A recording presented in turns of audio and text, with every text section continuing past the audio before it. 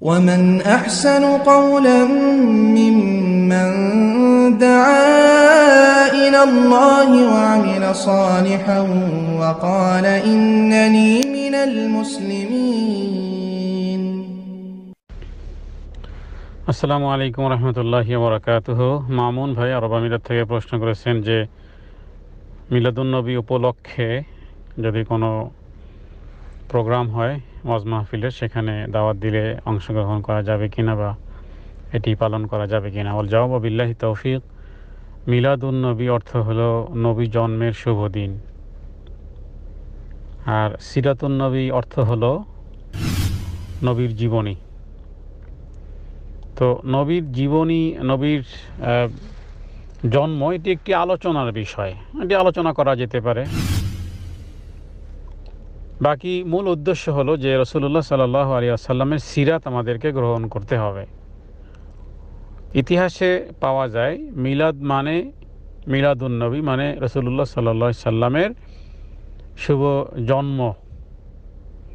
এখন মিলাদুন্নবী সর্বপ্রথম পালন করেছিল রসুল্লাহ সাল আলী আসাল্লামের চাচা আবু তালেব।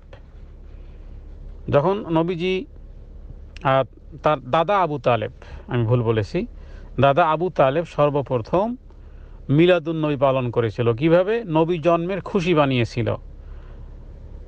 এক বাদী ছিল, যেই বাদীর নাম ছিল সুয়াইবা, সিরাত ইবনে হিসাম সহ সিরাত গ্রন্থে রয়েছে। বাদী সুয়াইবা এসে খবর দিল কাকে? আব্দুল মোত্তালেবকে, যে আপনার ছেলে মানে আবদুল্লার ঔরসে আমিনার গর্ভে বাচ্চা জন্ম নিয়েছে। তো এই কথা শুনে নবীজির যেই দাদা, সেই দাদা খুশিতে, আনন্দে আত্মহারা হয়ে যেই বাদী শুভ সংবাদটি দিয়েছিল, তাকে আজাদ করে দিয়েছে। সেই বাদী সুয়াইবাকে আজাদ করে দিয়েছিল, খুশি সংবাদে। তো আবু তালেব জাহান নামে কারণ নবী জন্মের খুশি পালন করেছে কিন্তু অন্যদিকে বেলালে হাবসি নবী কবে কোথায় কখন জন্মগ্রহণ করেছে হাব বেলাল হাবসির খবরও ছিল না। কিন্তু হজরতে বেলাল আদি আল্লাহ তালা নবীজির জীবনী ধারণ করেছে। একটা হলো জীবনী ধারণ। রসুল্লাহ সাল্লাহ আলি সাল্লামকে আল্লাহ তালা পাঠিয়েছেন ওই কাজের জন্যই। ইয়া ইহর রসুল বাল্লিগ মা উনজিলা ইলাই কামির রব্বিক। নবীজি তার নিজের কথাও বলেননি বা বলতে বলা হয়নি, বরং আল্লাহ তালা আপনাকে যা নির্দেশ করেছেন, তার মানে তার সিরাত। সিরাত মানে জীবনী নবুয়তের গোটা জীবনী। তাহলে হজরতে বেলাল সেটি গ্রহণের মাধ্যমে নবীজি মিরাজ রজনীতে শুনেছেন।